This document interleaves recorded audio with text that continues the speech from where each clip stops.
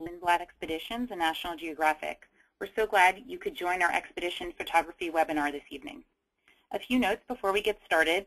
Whether you selected phone audio or mic and speakers, we ask you not to change your settings during the webinar as it may disconnect you. If you do get disconnected for any reason, simply go back to your email and re-enter the webinar through the link provided. Tonight we are going to go through some slides of real photographs taken by our photographers, expedition leaders, and naturalists on our expeditions. Throughout the webinar you may have questions. We've dedicated 10 minutes at the end of the presentation for such questions. When you think of one, type it in the question box on the right-hand side of your screen and we'll do our best to get to all of them. I apologize ahead of time if we can't get to all of your questions. Also, we will be recording this webinar, so you'll receive an email in the next couple of days if you want to watch it again before your expedition or send it to a friend.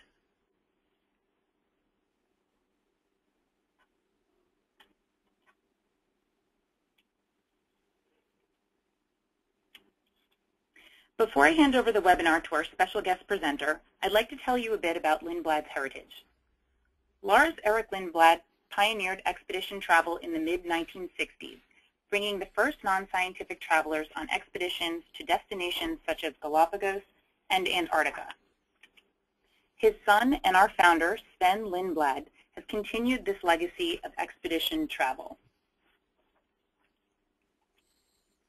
And in 2004, we entered into a strategic partnership with National Geographic, a collaboration in exploration, discovery, and conservation to inspire our guests to explore and care about the planet. This partnership provides access to an innovative, knowledgeable expedition team of naturalists, researchers, scientists, and of course, photographers.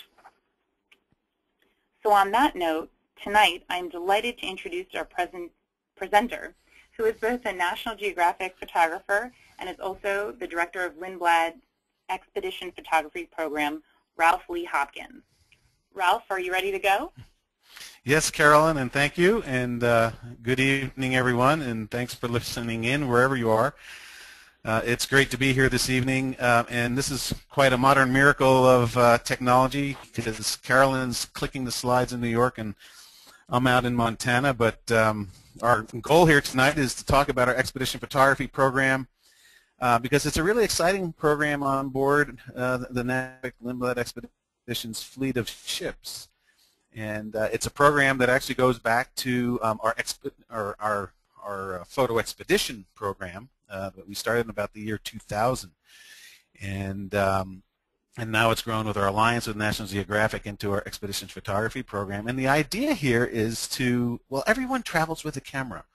And it doesn't matter what kind of camera you arrive with. I mean, it can be your iPhone. It can be your, your point, point and shoot, the camera that you always have with you, uh, which we love to call aim and create. Uh, we've adopted that term on board. I think it was Michael Nolan and C.T. Tickner that came up with that one.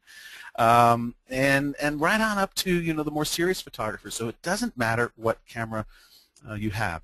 Um, it's about having the interest and the desire, not only to travel, because travel and photography goes go together, but to be inquisitive, to learn, and to have patience, and to observe in, in a different way. And that's really what photography can help you do. So it's one of these elective things that we do on board, and it's great because spouses um, who aren't into photography or partners who aren't into photography can go out on the natural history walks. They can go kayaking. Meanwhile, the photographers might be out on a photo walk somewhere.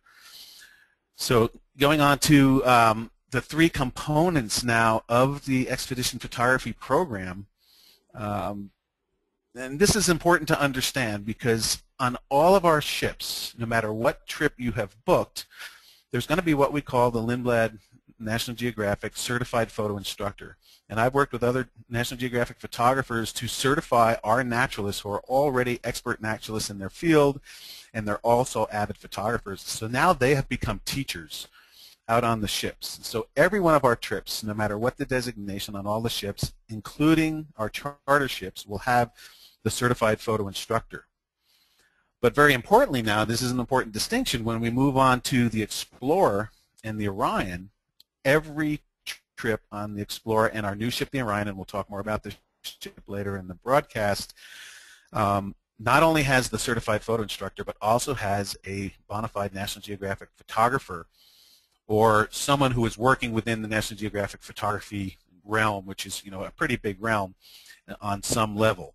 So these these folks have tales from the field. They're doing a lot of things with National Geographic, and they bring that presence of National Geographic out to our ships because uh, everything out on board the ships is about being in the moment, learning, and taking advantage of or, or putting our best foot forward in the situations that we have. So we really want to max maximize our viewing opportunities, and what better way to do that is alongside these amazing people who have traveled the globe. The third style of voyage, so now you know that on every trip we have the, the photo instructor. On the Orion and the Explorer, we have both the photo instructor and the National Geographic photographer. And then we notch it up a level, and it's typically on the Seabird Sea Lion on the smaller ships in the fleet, or down in Galapagos, we have trips that are called photo expeditions.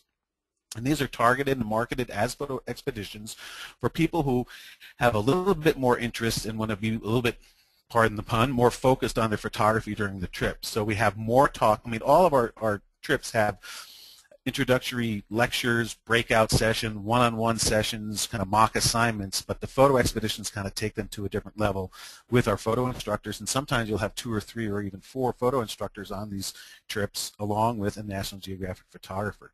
So that's the outline of the program. So going back to, I mean, maybe you've already booked your trip, uh, and if it's on the Orion or the Explorer, you know that there'll be a National Geographic photographer there. Um, so back to these certified photo instructors. Every ship in the fleet these people are already skilled naturalists. And that's really what takes, you know, when you think about, especially now, digital photography, there's really three components to making good photographs. One is understanding your camera. And so we hope before you come on a trip that you'll practice with your new camera. We can help you with tips and tricks, but you really need to be familiar with, with whatever camera you choose. Then once you're there, it's about knowing your camera enough so that you can be in the moment and think about light and composition. And this is where the certified photo instructors and the, Nat and the National Geographic photographers can help you. They can give you tips on uh, effective ways of using the light or at times when you know you need to be more patient. So getting this better understanding of your camera um, is important, but also then taking then the natural history information and so that you can anticipate so being with the, the, the, photo instructors, being with the National Geographic photographer, you can see Kim Heacox down on the ground here giving instruction how to shoot these these uh, flowers in, in, the Arctic. There's Michael Melford, there's Flip Nicklin, face to face with a with a uh, elephant seal down in South Georgia. So all this hands-on goes with the talks on board the ship. We have presentation breakouts. We do slideshows. Sometimes on the longer trips, we'll even do critiques of the guest work. We put together a guest slideshow of, of all the photos that have taken. We have people submit photos, and we, we celebrate on the last evening of the trip with a slideshow. So we've got these great things happening. And then, on, of course, on our photo expeditions, these are the trips that um, are more targeted towards the people who have, who have more of an interest in photography. But again, if one partner isn't interested in the photo side, there's always natural history walks, and there's Bing walks, and there's other things that are happening. So it's always a very balanced, even on a photo expedition, we do have talks about natural history. And again, you're, you're side by side with the experts in the field and uh, during the trip. Now, talking a little bit about um, the photo opportunities. I mean, we're you know it's it's hard to give a talk like this because we're talking about such diverse geographies. Of course, the giant tortoise in the upper left-hand corner, that's from the Galapagos. Uh, Galapagos will spoil you. Uh, you can get close to the wildlife. The wildlife, it's not that they're tame, but they show no fear. Um, the birds in the upper right-hand corner, the uh, gulls. Uh, we go to some of the best places in Baja California on our trips throughout the season from December on into April. Of course, our ships go from pole to pole, so you're seeing polar bears. If you've been following what's been going on at Baffin Island this summer, we found another hotspot for wildlife in the Arctic. So not only do we go you know, to Svalbard, but we're now over in Greenland, Iceland, and up into the Northwest Passage and the Canadian Arctic, which is really exciting. So the photo opportunities uh, across the fleet and, and, throughout the year are just amazing um, in these geographies from pole to pole. And um, we have, of course, with Lindblad and National Geographic, we have some of the most experienced, not only naturalists, but also officers and crew that um, take us to these amazing places on of the best expedition ships afloat. From the Arctic to the Antarctic, Galapagos, Baja California, Southeast Alaska, and now, of course, we're moving into Indonesia. We've been doing our, our Europe trips as well for a long time. We've got some trips in the Mediterranean, so we're really all over the globe. And, and that is very, very exciting. So talking about a place that I've been looking to return to, the South Pacific, um, how exciting now that we have our newest ship in the fleet, the National Geographic Orion, uh, that'll be sailing 11 different itineraries throughout the South Pacific to Australia, Borneo, and Indonesia, and we'll also visit uh, the Antarctic. But the South Pacific, and you're going to need to think about having a camera that you can take underwater. Uh, there's many of these point and shoots now that are all weather that you can take underwater. You can get some of the the other smaller cameras, you get housings for them. Of course, you can get spend a lot of money and get housings for your big camera, but you want at least um, an aim and create point and shoot camera to take underwater because you'll be visiting some of the best snorkeling and diving locations on the planet, including the Great Barrier Reef in Australia on some of these itineraries. Um, so the South Pacific's very exciting. We had the Explorer there. Um, I think it was back in 2008, 2009. So it's very exciting to get to get um, uh, back into these geographies. Um, moving on to the Antarctic, of course, it's the Arctic season right now, so our ship is in, in the north. And down in the Antarctic, it's in our North American winter season. And I don't know where folks are listening in from, but you know we're talking about um, oh getting down to South Georgia in November in the Falkland Islands, and then heading on down to the Antarctic Peninsula by mid to late November and into December. So we're getting down there when there's still lots of pack ice. Uh, you can see in the upper left-hand corner of that photo, we literally parked the ship in the pack ice, test the ice, and we're out there walking and photographing the ship, uh, photographing each other. I mean, it's really quite something. Sometimes you have penguins come walking by when you're out on the pack ice and the ship is just parked there. That usually happens early season. There's killer whales, humpback whales, of course, the penguins, and everyone thinks they come for the penguins, but it's really the ice and the scale of the Antarctic scenery that, that steals the show.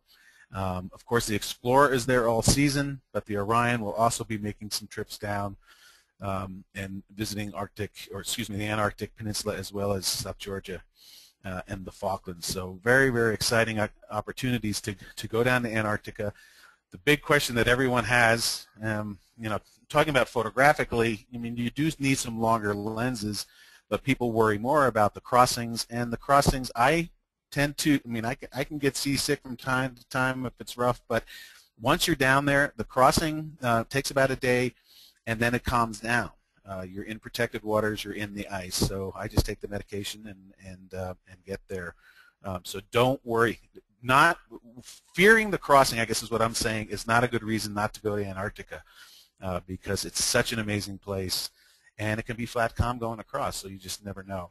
Uh, but it's one of the most exciting destinations uh, on the planet, both from the ice point of view, the wildlife point of view, and it's it's all wilderness. Um, there's only some scientific bases there, um, so it's it's one of the most pristine wilderness areas that you can you can visit on the planet, and it's managed that way for the world. Jumping up to the north, um, with the, the next slide, to the Arctic. Um, this is where I just got back from, trips from Iceland. Of course, the ship's been in Svalbard uh, since June. We're talking about the Explorer now. We circumnavigated Iceland, then went to Greenland and up into the Canadian Arctic. Um, and, you know, we've been hearing a lot in the news about climate change and, and what's happening with the ice. And at least from our observations, that's true. The glaciers are receding. Uh, the pack ice is opening up, and we're going to be attempting the Northwest Passage, two very exciting itineraries, one north, or I guess westbound, one back eastbound next uh, summer uh, to the Arctic. Um, of course, the pinnacle species, the, the holy grail up there is the polar bear, um, and it's one of my favorite animals to see out on the ice and to, to observe. And remember, a lot about photography is really uh, having a new way of seeing, um, being patient. You know, not only are we seeing the bear and, and getting the close-up shots, but showing the bear in its environment, showing it with the two cubs walking away. I mean, you could many times you can zoom in, but seeing the icy environment. I mean, that's really what it's about. Uh, of course, in the Arctic, you've got uh, hundreds of thousands of seabirds. You don't have a lot of diversity in seabirds, but we go to some amazing seabird cliffs. There's also the seals and the walruses. Uh, you can see a, mother walrus here, cow calf with its with its calf, its youngster. Excuse me. And so the Arctic, uh, you also have the the tundra. Uh, we kayak in the icebergs. Of course, you want to stay away from the big ones. We go ashore and we explore the Arctic tundra for photos of wildflowers. So, um, you know, the Antarctic is 99% ice, and we land where there's no land. And, and, when you, by the time you get up to the Arctic, you're talking 70, 80% covered in ice. The places that we go, so you see many more plants. Of course, they're all very small, the, the tundra species. Um, so that's really our cold weather, the coldest weather environments. And we're not talking super cold either. That's the other question we always get, how cold is cold?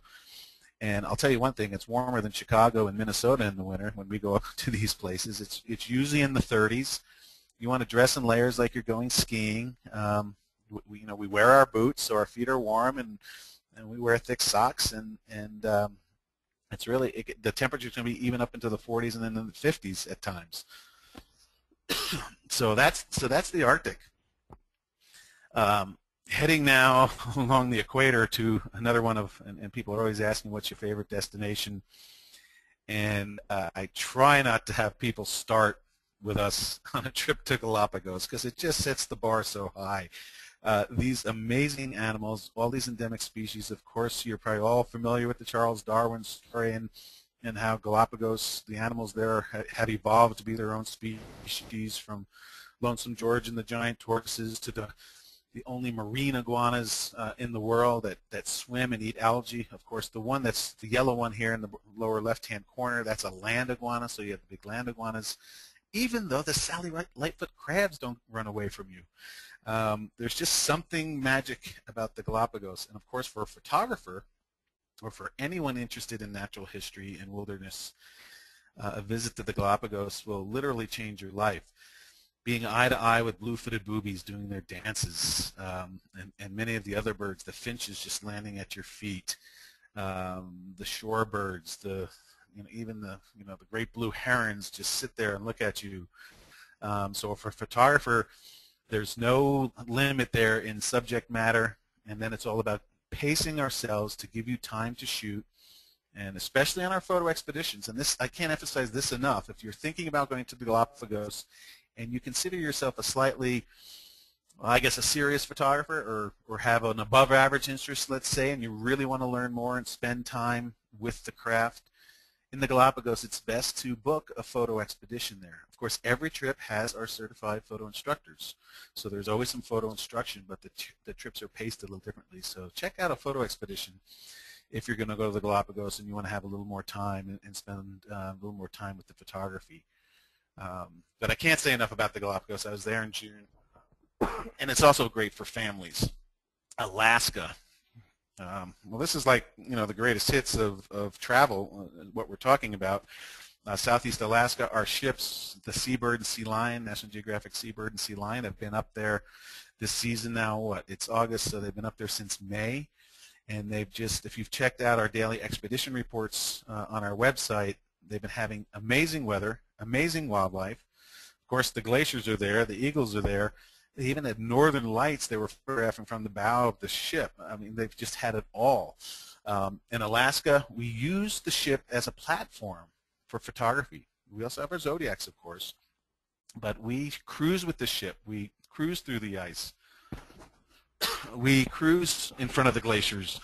Um, we go into Glacier Bay. We pick up a ranger and we do this special tour around Glacier Bay, looking all at, at the sights and listening to the sounds and waiting for glaciers to calve.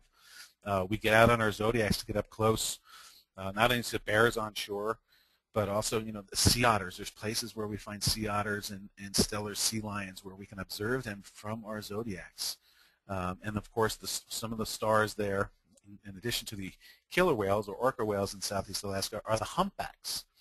And of course, you know, most of you know that the humpbacks in Alaska, they travel from Hawaii, where they're where they're um, you know mating and having their young, and and and then they they migrate back to Alaska to feed all summer. So many times, if we're very lucky, can luck into seeing their feeding behavior, which is this cooperative bubble net feeding where 8, 10, 12 whales might get together, dive down, one whale releases the bubble net, and then they all come up with their mouths agape at one time. And uh, that's a pretty exciting thing to see in the world. And there's very few places in the world where, where whales do that kind of feeding. But in Southeast Alaska, we've had very good luck finding and seeing that kind of behavior. So for trees and glaciers and hikes in the woods and bonding with your rubber boots out on the trail in the muskegs, um, for seeing bears, whales, otters, and of course the glaciers calving, uh, one of the best places in the world is where we go, and that is Southeast Alaska. Uh, okay, so now coming to yet another uh, favorite destination, and this one will surprise you if you have not traveled yet to Baja California and it doesn't matter if you're a photographer or not. Uh, we're talking only a couple hour flight from Southern California, get down to La Paz or, or San Jose del Cabo, and then transfer to our ships. And the Seabird spends the entire season in Baja California, and then the Sea Lion comes in late in the season for a couple of trips in late March, early April. Uh, Baja California is, and I can say this, um, probably the best place in the world to see whales and dolphins on a daily basis.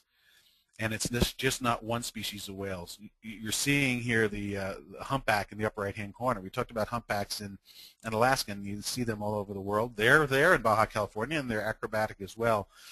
But there's the blue whales, the largest whale on the planet, perhaps the largest mammal that's ever lived on the planet. There's fin whales, sperm whales, pilot whales, um, you name it they are they are there in the Baja, in Baja California, and we spend time looking for them. We spend time cruising for them, as well as landing on the remote desert islands. All the islands in Baja California are a UNESCO World Heritage Site. Same designation for the Galapagos. So Baja and Galapagos, even though they're in much different geographies, they share a lot of the similar traits and, and levels of protection, and even in terms of their endemic species. Uh, the lower right-hand corner here, that's a spiny-tailed iguana on a cardón cactus. Both of those species, the cactus N and the uh, uh, the lizard there are endemic species to Baja California. So we spend a lot of time landing on remote islands. There's good snorkeling. Of course, there's the California sea lions. Um, so Baja, I, I, can't say enough about it. The ship especially the Seabird is there um, from December on up into April. I'll be on board next March, April. So even the what people consider the late season trips are April trips.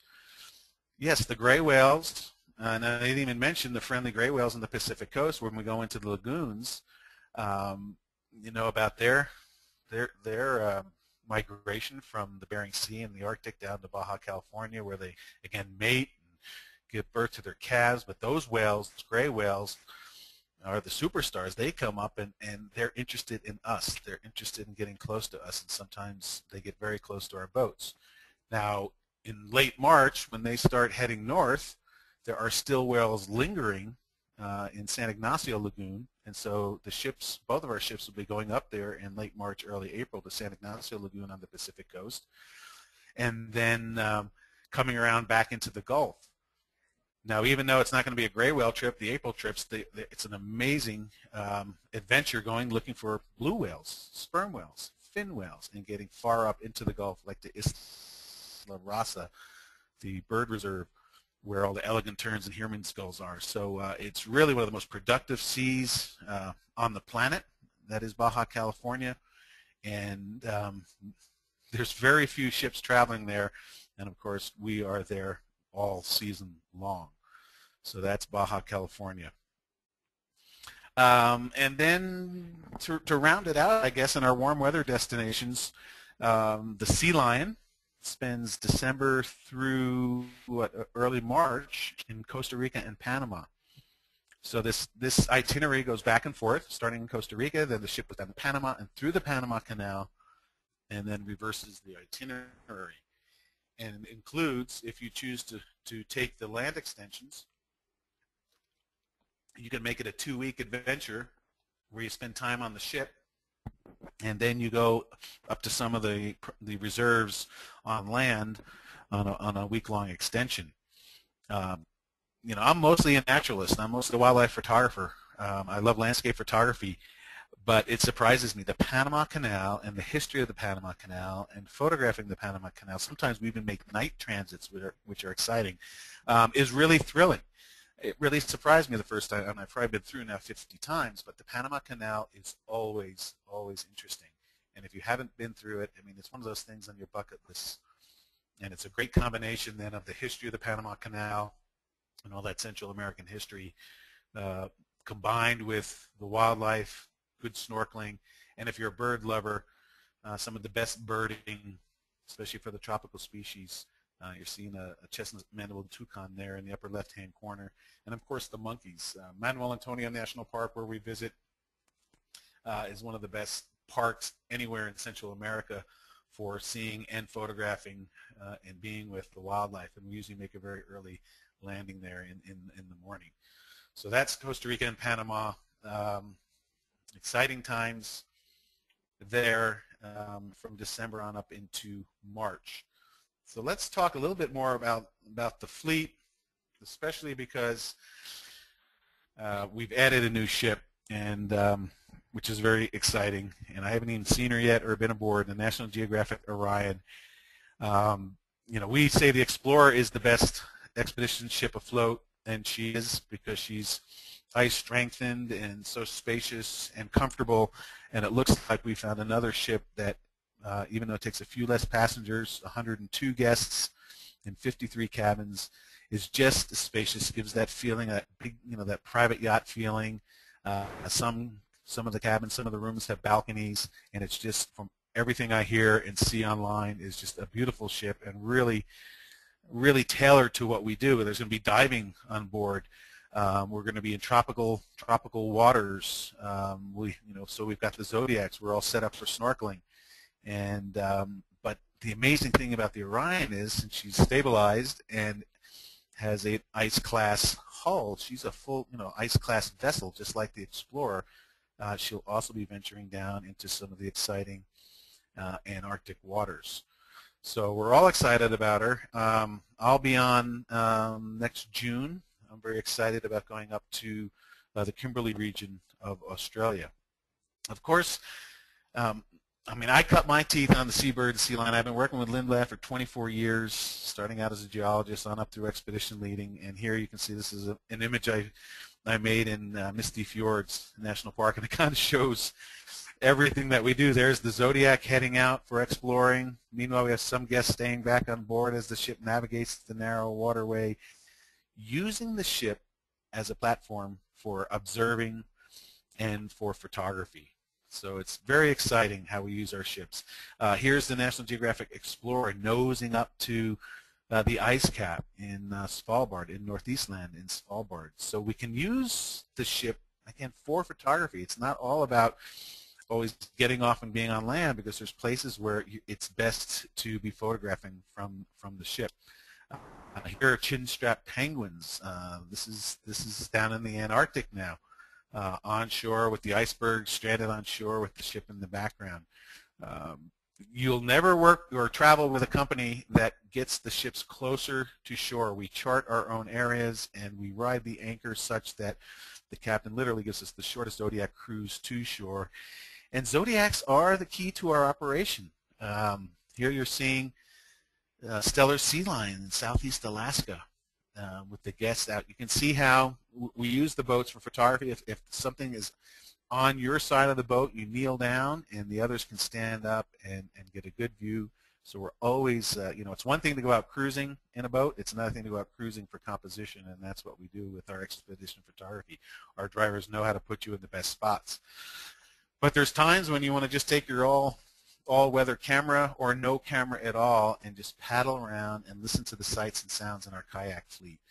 Um, you know, there's, especially once you've been introduced to an area and now you don't have the natural, although you hear us kind of in the back of your head to be safe and stay away from the icebergs, but it's just you out there having that in-the-moment experience. Uh, here with Gentoo penguins now porpoising by uh, your kayak, and what could be more thrilling than that? So we use kayaks all over the globe from the Galapagos to the Arctic to the Antarctic. Um, and we'll even use them in the Amazon on, on the charter ships. So um, on the Delfin 2. So if you have the opportunity to get out on a kayak, and, and, even if you haven't done it before, we can teach you how to do that. Um, but I would say our hallmark now, when you think about the expedition photography program or photography in general, it's traveling with like-minded people, um, celebrating each other's successes, and, and then looking at our images. You know, here you have people gathered uh, in, in the chart room on the Explorer, probably after either a polar bear event or, or some exciting event, you know, sharing their images. Did you get the shot? Um, so there's a lot of learning that goes on board, a lot of one-on-one, -on -one, and, and a lot of times people with the same models of cameras will sit down together and exchange information. Uh, now, most people, or a lot of our, our guests, travel with small small laptops, and they back up their images to external hard drives, and that's the way they travel. But also on board the ships, um, what we have are what we call our Mac Photo Kiosk. We have a workstation where you can put your card in, transfer images to a storage device of some sort, um, and then clean your cards or not, or just you know label them in such a way that you can find them later um, in your transfer and backup process. So we do have a workstation available to you. It's it's it's the best way to go is is to have your own laptop. But if you don't want to carry your laptop, you can get by just by having you know taking enough cards to store your photos, maybe having a backup drive that you can transfer and backup your photos to but of course looking at them you know at least every other day so you can see if you're having any problems see how you're doing and use this beautiful machine because at the end of the trip we we ask guests to contribute three to five pictures to the guest slideshow and on the last night of the voyage um, we share these together and, and, that slideshow is something that you can take home um, so here's the the lounge on the Explorer, and, and we get together for recaps, slideshows, and all these presentations. Um, and we have some geared toward photography on all of our our expeditions. But we're also talking about the natural history. We're talking about the birds and the history in these places. And it's amazing. The more you know, you know, you're, into, you're interested in photography and you're learning more about your cameras, but the more you learn about a destination and what's special about it, the more you will see to photograph. So learning about the natural history and the history of a place um, can help you in your quest to make more meaningful pictures on your vacation because what we are hoping by empowering you, empowering all our guests with their photography, whether it's just shooting still photos with their iPhone or shooting short video clips with an iPhone on up to the point and shoot aim and creates and on up to the digital SLRs, it's really about you telling your story of your trip. And so we're hoping that all of our guests do that and, and share this this really this gift of travel that that you're giving yourself and that and, and what we pride ourselves on because we have some of the best staff, some of the best photographers out there with you, and we're going to these great places. Amazing things are happening on our ships every day uh, somewhere in the world. And and now our guests are a part of that, of course, because we're we're out there for you. We're out there to help you. We're out there to try to prepare you for these experiences. And and what a what a thrill if you can make a good photograph along the way or 30 or 50 good photographs that you can share with with your family. We also have a video chronicler on the ship, so I know a lot of guests are interested in video, but video, boy, it's a leap to do the work to make a film. Well, we have these young kids that make videos of each one of our trips, and, and for a small fee, you can take these videos home, but these are professionally made, complete with mu music, edited down, with quotes from naturalists and guests, um, usually 30 to 60 minutes long. And this will include footage our, from our undersea specialists. We have a lot of technology on our ships from uh, remotely operated submarines to diving in cold water to underwater video cams and splash cams. And we're using this, this technology to bring back the undersea world to our guests. And um, this material also is included in the video chronicle that is available, available to you uh, to take home. So that's a very exciting part about what we do. Um, and it's not only the staff, it's right on down to the crew. Um, our captains are extremely experienced and enthusiastic about the natural world and getting our ships in good places. Um, I knew I had the dream job when the captain called me on the radio and said, hey, Ralph, we have whales. Which side do you want the light on? Um, so we think about that right now to the captain and the officers driving the ships or the panga drivers, the Zodiac drivers in Galapagos. They're thinking about photography. Uh, we want it to be comfortable. We want it to be safe. And it really is a seamless, seamless operation. Um, we're really like a of all the different ships. Um, we come and we go and we get together in different combinations, but we have, all are excited to be there. I've been doing it, what, 24 years now, and many of the people I work with um, have been doing it, if not one decade, two decades. So um, we have a great time out there on the ships, and I, I, really hope you'll join us, and I think I'll turn it back over to Carolyn at this point, and then we'll answer some questions at the end. Thank you. Great. Thank you so much, Ralph. So just to pick off, pick up where Ralph left off, um, to talk a little bit more about our offerings on the ship, we provide daily stretching and a range of wellness and massage treatments aboard. We source local food as much as possible, adding to our sustainable culture. And many people often ask us, why is Lindblad Expedition such a great value? Well, the best part is you can join without a dollar in your pocket and you can have an amazing adventure. And here is just a list of some of the things that the expedition includes, of course, all the accommodations, uh, meals aboard the ship, activities and shore excursions, transfers to and from group flights. And you can all feel free to learn more. Uh, visit our site, expeditions.com. Keep an eye out for our special offers you can order a brochure here, and you can check out what a trip is really like, as Ralph mentioned earlier, through our daily expedition reports, and you can sign up to get those.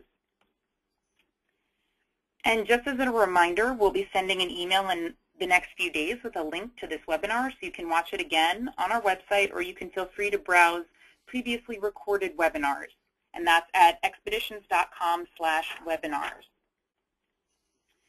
So that brings us to the end of our presentation. Um, thank you for joining us tonight. A big thank you to our presenter, Ralph Lee Hopkins, for his enthusiasm and insight. I definitely want to go on a trip now, all of them, in fact. So we have a few minutes to devote to questions, and there have been several that have come in. So uh, the first one, Ralph, that uh, several people have asked about is tripods people want to know if there are tripods available on board, um, and if there are not, um, are they recommended? What do you suggest?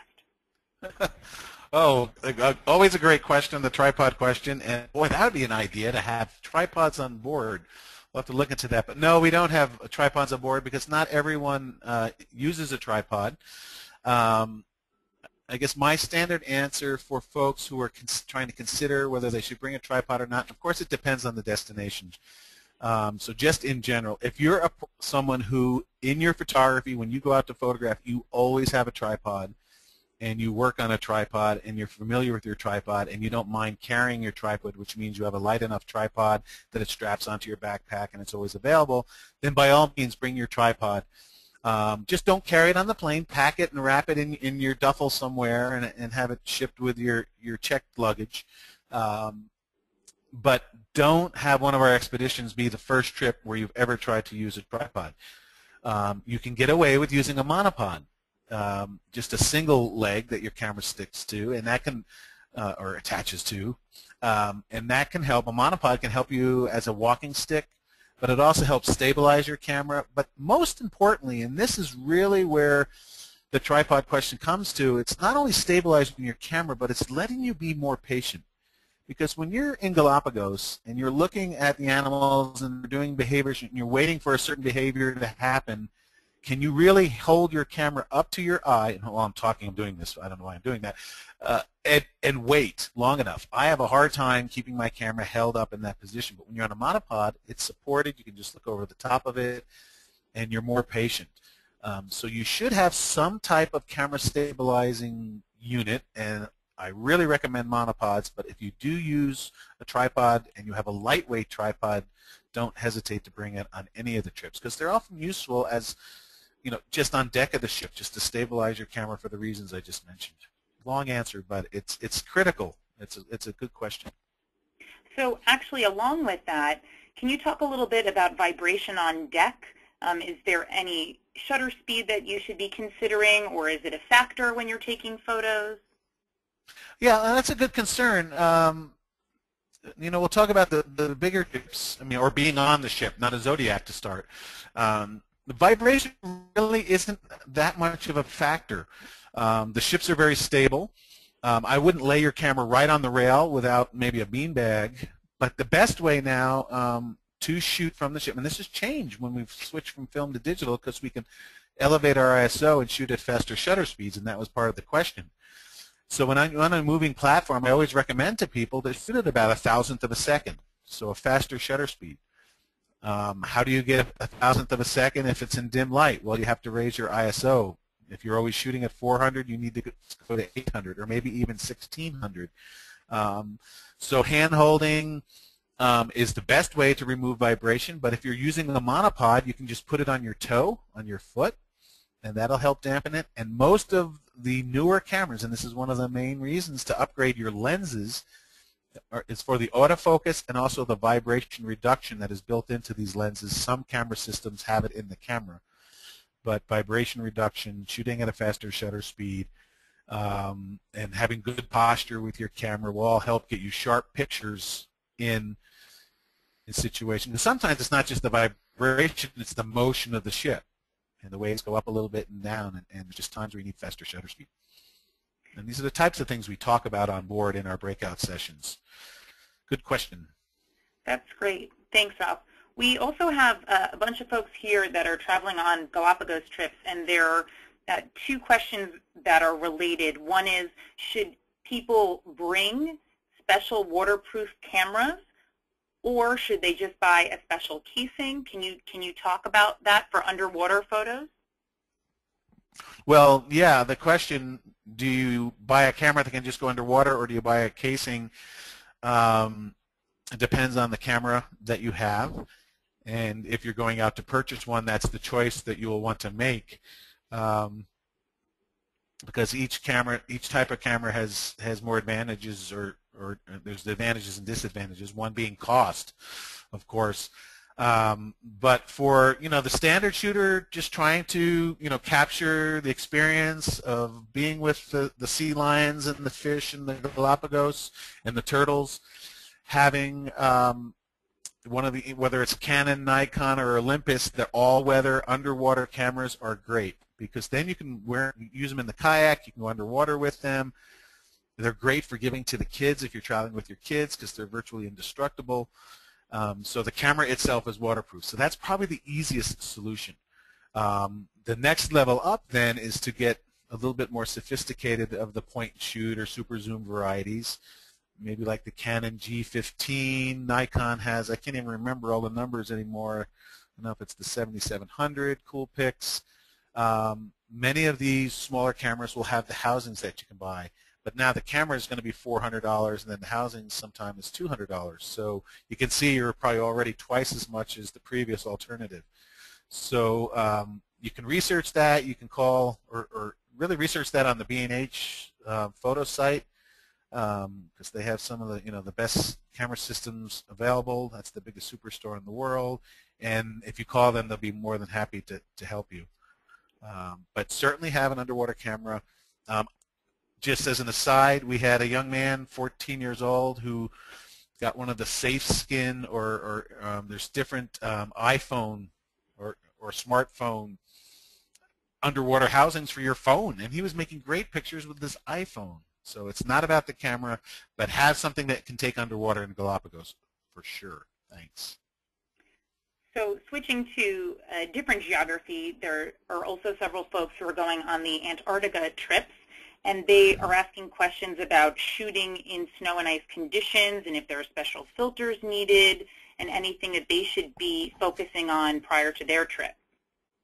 All right, for Antarctica, um, well, I mean, this goes across the board. You always want to be able to protect your gear. The number one concern before you even get to shooting is protecting your gear in wet landings. And you can have very wet landings, very splashy landings most of the landings, if you just have a good backpack with a rain cover that gets your gear ashore, and I'm, I'm harping on this a little bit at the beginning here because I always see people with just their camera around their neck or stuck in their jacket, and that's not the best way to protect your gear. Having that backpack or some kind of belt pack with a rain cover or put it in a garbage bag, gets it to shore.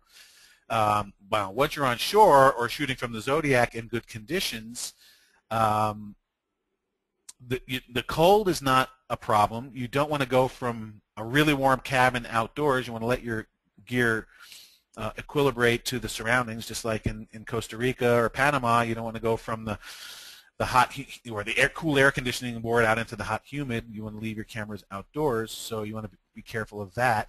Um, the many of us use the rain sleeves for splashes. Uh, now we we're holding our cameras. It might be snowing. It might be, you know, misting. I recommend having your sunshade, even though it may not be sunny. Have the sunshade for your lens because that offers protection from mist and dust and also protects the end of your lens. And then have one of these rain sleeves. They're like two for 15 bucks. We sell them on board that fits over your camera so you can shoot when it's raining. And always have something to wipe your lens with. Now, as far as the conditions, there's no special filters needed. It's all about exposure. Your camera tries to make what is bright and white middle gray. So you purposely want to overexpose or add light to light and overexpose what is snow and ice or going the other way, underexpose or darken down what is dark. So you, you learn how the camera sees the world and it, it always tries to make everything middle gray. And it's not a filtration thing, it's, it's an exposure thing. About that on board in our breakout sessions about adding light to light and purposely overexposing the snow and icy scenes. And many of the cameras, it's called the snow setting or the beach setting. Um, so we'll talk about that. So there are tricks so to keep the snow white so that your camera's not underexposing. Excellent question. Great. Now, we've been Long talking answer. a lot about uh, furious cameras, but there, there have been a few questions uh, along the lines of, if I bring a little digital camera or just my smartphone, will I be laughed out on deck? you will be the envy of everyone. And the reason is, again, it's not about the camera. And I always have my iPhone with me because making panoramics with the iPhone, um, they're always fun and they're and they're and and it's best it's the easiest with with an iPhone. Um, but we often see because people with the smaller cameras, the Aim and Creates or their smartphones, they're always ready. They always have their camera ready. They're not worried about switching lenses. And many times the folks with the smallest cameras who are always kind of apologetic about taking pictures get some of the best shots. And, and I could say that happens almost every trip. So I encourage everyone, if you're interested, just learn one or two tricks, one or two tips in our sessions and go apply them and then just have fun, be in the moment, and observe. So actually speaking about lenses, we've had so many questions about the best uh, lenses to shoot long range, to shoot short range. Lots of individuals asking specifically if a 50 to 200 millimeter lens is good enough. Can you speak to uh, the general lens uh, question? A lot of people have really heavy ones. They're concerned about bringing them or how feasible it is to switch them um, as they're shooting um, on the landing craft. So I know that this is a lot all in one, but uh, quite a few questions about the lenses.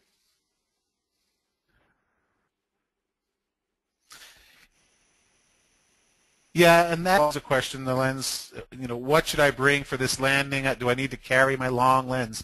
And there's really no one good answer for that because it depends. There's so many different situations. And my pat answer is, yeah, you should have the arsenal ready.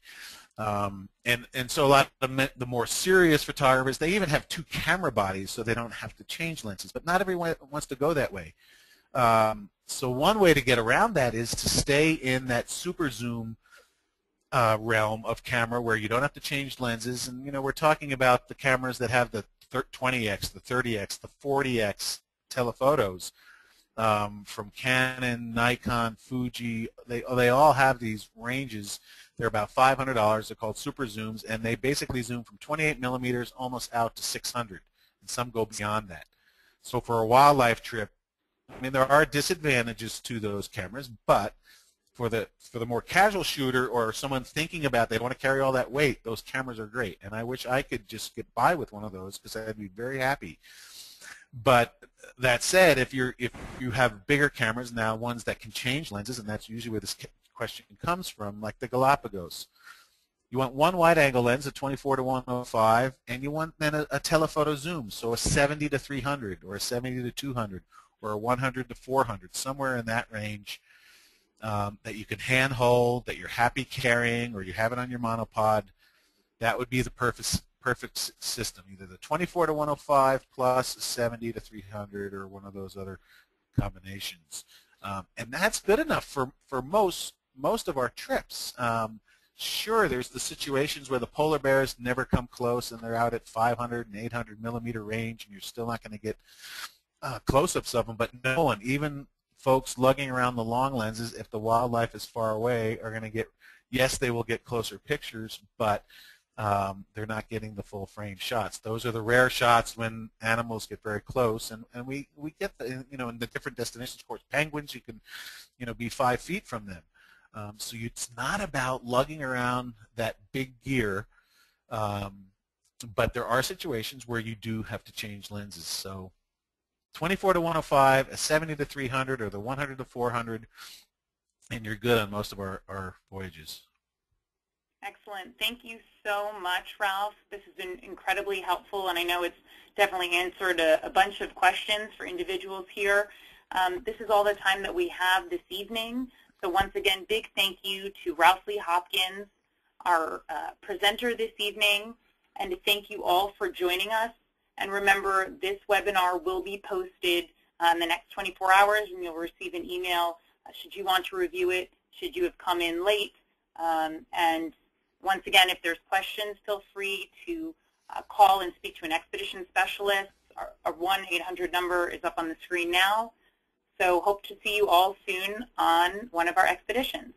Thank you very much and good night.